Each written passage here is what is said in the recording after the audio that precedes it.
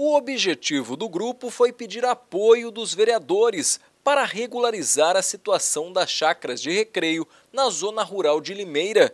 Os moradores usaram a tribuna livre da Câmara na sessão desta segunda-feira.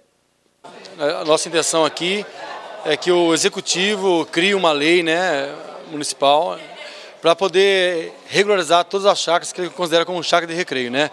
Tem um provimento 2013, né, que foi elaborado ou registrado no último dia 19, que com essa lei municipal, o prefeito criando aí, ela anda paralelo a esse provimento que possibilita a regularização de todas as chácaras de recreio, entendeu?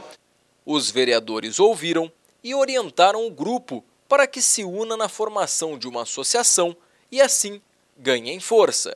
Então a primeira coisa é montar a associação, cada, cada condomínio montar a sua, a sua associação. E depois disso, buscar formas, buscar encontros com a prefeitura, com a, com a participação dos vereadores, para que o prefeito possa apresentar um projeto de lei para que sejam regularizadas essas chácaras. Em Franca, o prefeito municipal, o prefeito, fez uma lei municipal regularizando 5 mil chácaras. Então é um processo demorado? É um processo demorado, mas tem que começar. O vereador José Roberto Bernardo deixou ainda uma pergunta no ar.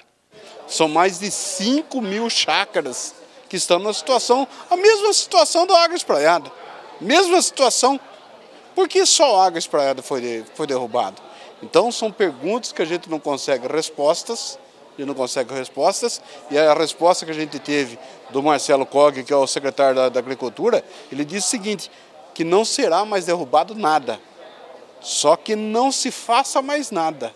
Sempre de olho no que acontece em Limeira, Lucas Claro para o Rápido no Ar.